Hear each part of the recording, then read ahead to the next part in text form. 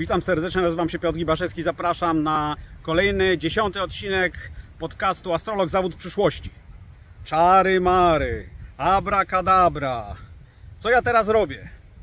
Odczarowuję astrologię.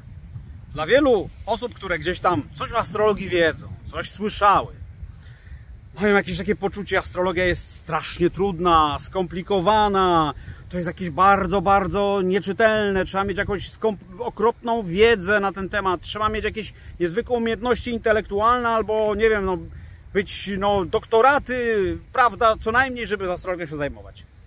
Być może kiedyś w astrologii tradycyjnej, rzeczywiście, astrologia tradycyjna jest trudna, wypełniona ogromem ilości różnych reguł, zasad, przepisów, pełna, bardzo szczegółowa, bardzo taka bardzo, bardzo wypełniona pewnymi takimi bardzo schematycznymi normami, zasadami, regułami, które trzeba było wkuwać naprawdę w ogromnych ilościach.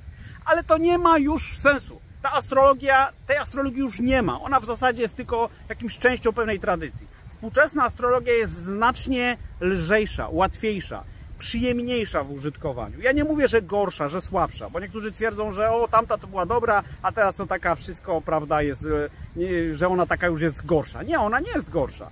Nie wymaga znajomości matematyki, tak jak to kiedyś miało miejsce. Kiedyś w dawnej astrologii trzeba było mieć biegłą znajomość matematyki. Dzisiaj możesz być zerem matematycznym kompletnym. Możesz być absolutnym humanistą, który w ogóle pojęcia nie ma o liczeniu i, myślenie racjonalne, takie, takie bardzo analityczne, oczywiście się przydaje, ale nie jest niezbędne.